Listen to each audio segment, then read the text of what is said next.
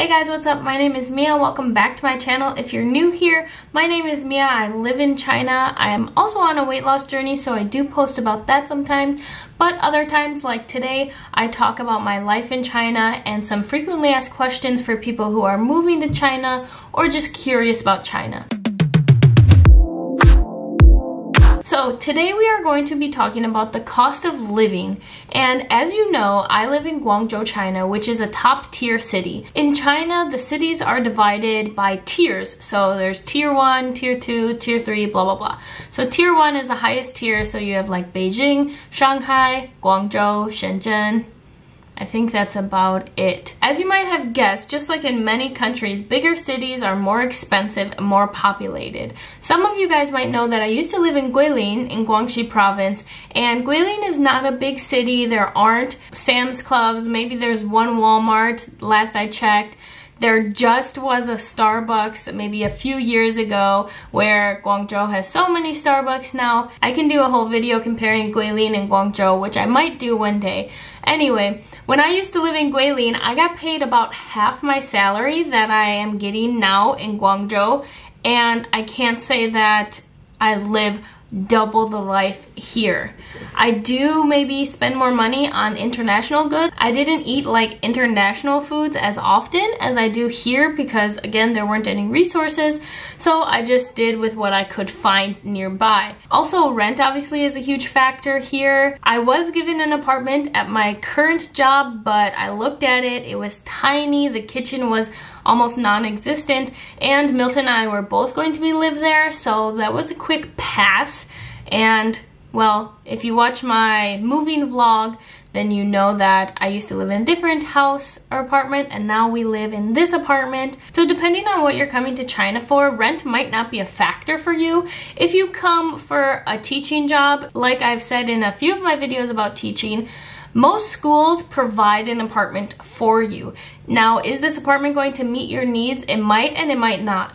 My apartment that I was given for free did not meet our needs. It was very small. It was one bedroom, tiny kitchen with a small sink. There wasn't a lot of room at all and especially with two people living in that small apartment, I just said no way. Like we got out of there and I'm so glad we did because I think I would be miserable if I was living there, even if I was on campus, of course, but Anyway, that's another video. So talking about rent. If you've seen this video, this vlog, this apartment is actually pretty big. We have three bedrooms. I'm in one of our spare rooms right now.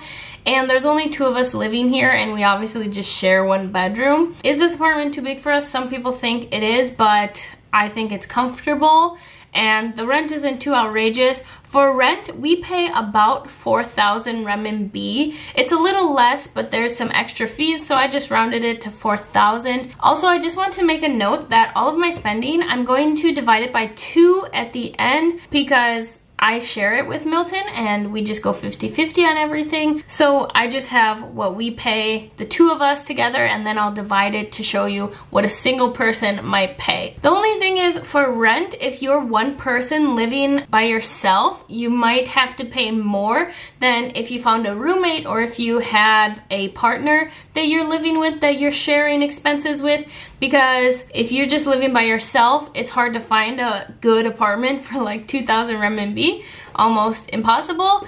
But you can find something for maybe more around 3,000 in a decent area. Again, this is not the city center. I've said it before, I do not live in the city center. I do not live close to the city center.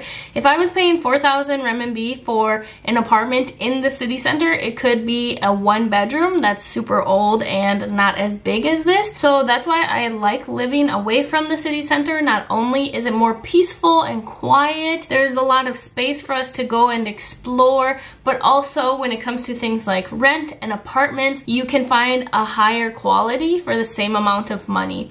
Also, I don't work in the city center, so there's no point to me even living close to the city center. I'd rather live closer to where I work, and I do have to commute for work, but that's not a big deal. All right, so our apartment is in the small area. In America, we might call it an apartment complex, so a lot of apartments, we live in one area, it has one name. So every month or so, we get this small piece of paper stuck in our door. As you can see, it was folded and just stuck in our door, and this has our water, and the fee that we pay for like the security guards and the workers on the grounds and stuff. For water, this is for two months at a time, so I just divide it, but it's about 100 for two months. So that's about 50 a month, which is not bad. That's like less than 10 bucks for all the water we use. And again, we're only two people, but for showers, washing dishes, laundry, and then for the grounds fee, or whatever you want to call it, I usually just call it by its Chinese name, so I don't really know what to call it in English. For two months, for June and July, it's about 770 um, so that's like less than 400 a month. Again, like 50 bucks. So that's like $60 for water and the grounds fee, which is not bad. And again, everything I'm splitting, not bad at all. Alright, so the next thing we're going to talk about is phone service. So of course when you come to China, you need to get a SIM card and a data plan or a phone plan. And I actually had my Chinese friend help me because I was always running out of data, but I had a bunch of minutes that I never used because honestly I don't call so many people here. But of course I use things like WeChat or go on the internet and stuff throughout my day when I'm not at home and I don't always have Wi-Fi everywhere. So I get 20 gigabytes a month for like 50 renminbi, which is really good. And I've never gone over like even if I like turn on my VPN and go on YouTube or go on, you know, Instagram or all these sites all day, I've never gone through it in a whole month. The only thing is my plan doesn't have so many minutes on it, but it's not a big deal to me. Sometimes I have to top up if I want to make an international call, which I do sometimes call like my grandparents and my parents at home just you know, every now and then to call and check up on them instead of using email. And of course, my grandparents don't video chat, so it's the best option for that. Next up is my Metro card, and this is going to depend on where you live. If you live in a small city, maybe you can just walk to where you want to go or take a bus, or maybe you have a scooter or something like that. But here I either take the metro to work or a bus, or honestly I take bus, metro, bus. So I use my metro card every day, but obviously we were in quarantine and isolation and we've had online classes this entire semester. So I didn't really have to use it, but I found in June, I put about 100 or 150 on it. I still have money on it. I think I have maybe like 30 or so left on it. And that's just either going out with friends. I had a bunch of errands to run because I was renewing my visa. So I was going to like the tax office and the visa office and stuff like that. And I do take the bus either to other places nearby or just around where I live. I did also have a few days going out with friends, going to the city center, going out to dinner and stuff, so I was using the metro for things like that. So the second largest thing that we spend money on, which you're probably not surprised about, is food. Like I said, living in Guangzhou, we have so many more resources than we did when we lived in Guilin. If you saw my video about how I get healthy food in China, I do a lot of online ordering with Sam's Club because they deliver to our door. Their meat products are very high quality and good. I think we mostly just get meat from Sam's. We do get other things, and of course eggs. We get eggs from Sam's as well.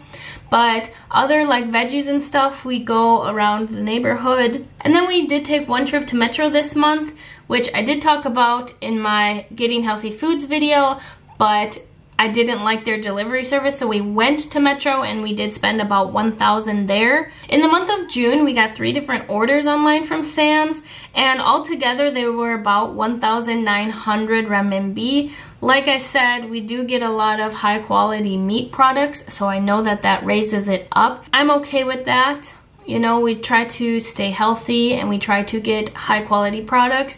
So I know it's pretty expensive. All of the other groceries that I spent in our nearby stores was just about 400 renminbi. And this is for veggies and fruits and stuff like that that we don't get from Sam's Club. So that's maybe every few days walking through the market, getting some veggies or some fruit, depending on what we want for that day or that week. The last part is shopping online.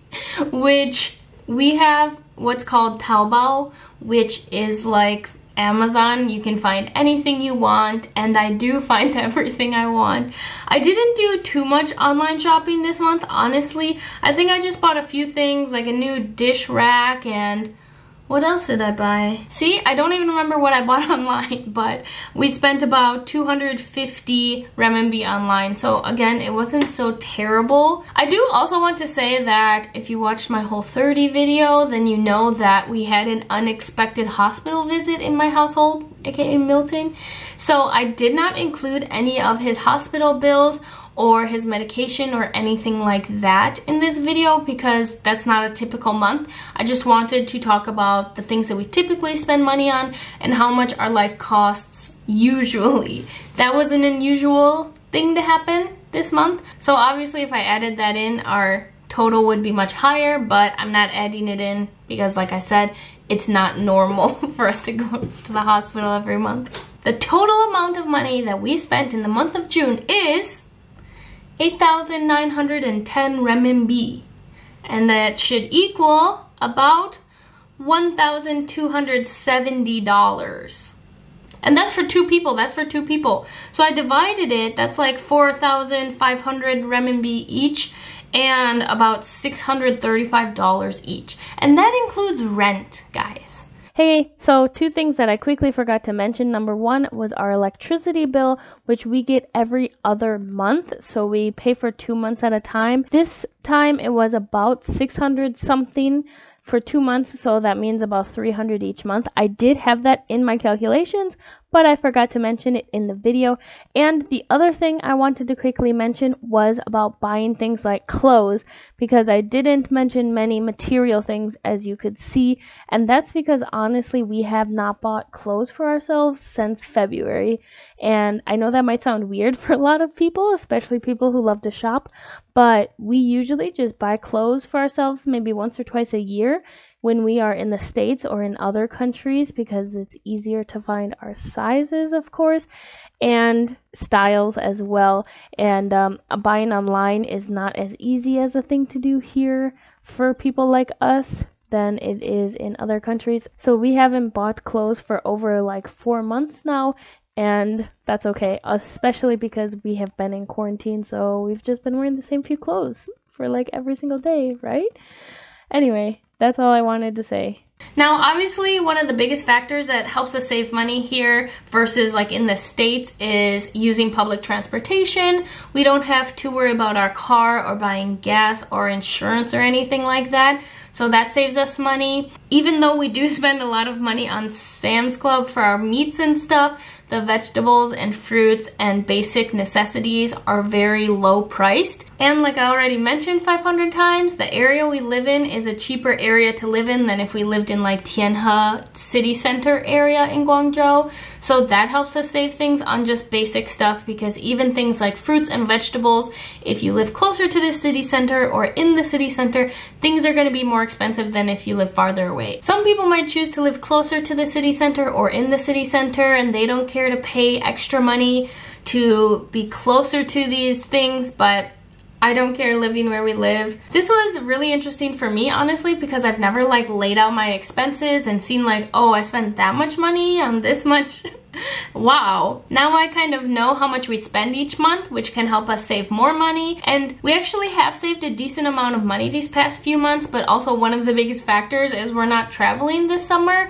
Usually by this time of year, we are in the US visiting my family, but obviously for certain reasons, we didn't travel this summer and we're just sitting in China. We might travel around Guangdong area. Honestly, I'm afraid to travel outside the province because I don't even know if we're allowed to as foreigners. So we've saved a lot of money by not traveling and if you know most jobs give you a bonus during summer holiday or right before summer holiday for your plane ticket because most people do travel or go home or whatever. So I got my bonus and now it's just sitting in my bank which is great because I get to save more money for my student loans. Anyway guys, that's it. That's what we spent during June. If you have any questions, definitely let me know. If you're thinking about coming to China, well, I don't know if that's probable right now, but you can ask me questions if you're outside of China or if you're moving from a different city or anything. Just, you know, whatever. Ask me a question. That's cool. Anyway, you can give me a thumbs up and subscribe maybe if you want to, but if you don't, that's okay too. Thanks for watching my video, and I'll see you next time, whenever that will be.